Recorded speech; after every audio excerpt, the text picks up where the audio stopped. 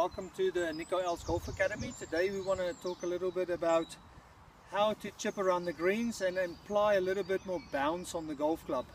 We see a lot of amateurs that actually uses the leading edge getting too steep onto the ball to try and actually lift the golf ball. Now what we normally talk about bounce is it's actually the bottom part of the golf club which is actually up as a central point and not as a leading edge. So if we're looking at what leading edge is, is that most people use the front bit of the club and actually trying to get too steep into the ball or trying to get on top of the golf ball. So I've actually set up a little um, example here with two baskets and an alignment stick to actually help you to actually achieve on getting more bounce into the ball and actually keep a shallower swing path. So as we set up, we took a ball and we took a line where you can see that the shaft angle doesn't really want to come across where the two baskets are and the alignment of my feet because this helps me to come too steep actually in this position. So what we're trying to achieve is just trying to keep the wrist nice and passive on the forward direction is trying not to break the wrist too early because breaking the wrist creates steepness again. So what we're trying to do is just trying to keep the angle straight and simple, no wrist break, keeping the club right in front of us so it feels like a one-piece takeaway.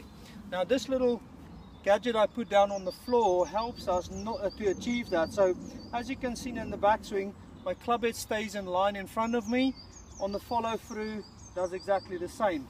This helps me not to come across hitting into the basket, creating steepness. So by swinging backwards, keeping the club in front of me, helps me to achieve more bounce. We'll do that once more time to understand that we want to go straight forward, keep the club in the same path, use the shoulder movements, keep the club in front, not coming across. Ball bounces up and the ball goes fairly straight.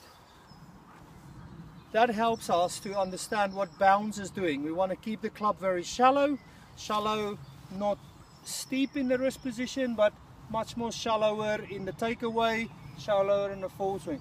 I hope this actually helps you guys to actually achieve this exercise. It's plain and simple. You can grab two baskets from the Pro Shop with an alignment stick. Hope to see you next week for more tips. Thank you for joining Nico Els Golf Academy. Have a great week of practicing golf. Cheers.